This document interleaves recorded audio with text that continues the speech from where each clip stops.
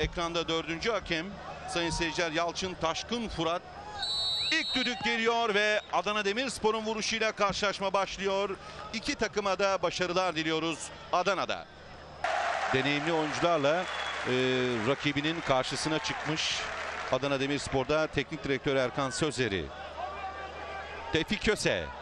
Savunmanın arkasına offside yok. Aşırtıyor ve top dışarı çıktı. Aslında çok iyi yakalamıştı Mustafa Durak. Murat. Geriye döndü. Ertan. Hüseyin. İki oyuncu var karşısında. Topa Ersel hamlede bulundu. Sağ kanattan geliyor Büyükşehir Belediye Erzurum. Derli toplu geldi konuk takım. Cezanın içinde tehlike. Bir vuruş ve top ağlarda. Değerli seyirciler enteresan çok enteresan bir gol. Serbest vuruş kullanıldı uzak noktaya doğru geliyor. Bir kafa cezalını yine aynı oyuncu. Bu kez kaleci Zülküf. Ve şimdi Adana Demirspor atağı.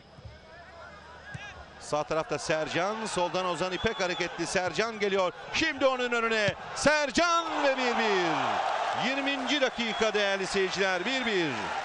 Sercan atıyor.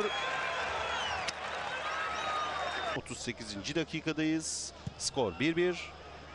12. dakika Halil İbrahim ve 20. dakika Sercan Kaya. Halil İbrahim orta geliyor. Bir vuruş ve gol. Değerli izleyiciler Büyükşehir Belediye Erzurum Spor karşılaşmada 2-1 öne geçiyor.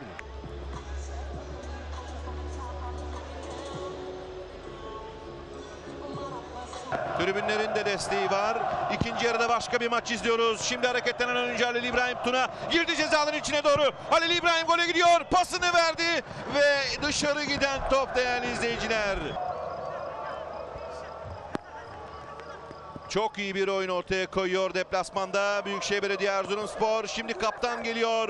Orta yerden gol pozisyonu. Zülküf ve son müdahale savunmada büyük hata gol. Savunmada inanılmaz bir hata. Top ağlara gidiyor. Zülküf son derece üzgün. 61. dakikadayız. 3-1'lik üstünü devam ediyor. Konuk takımın bu arada inanılmaz bir gol kaçtı. İnanılmaz bir gol kaçtı. Değerli izleyiciler inanılmaz bir gol kaçıyor. Pote.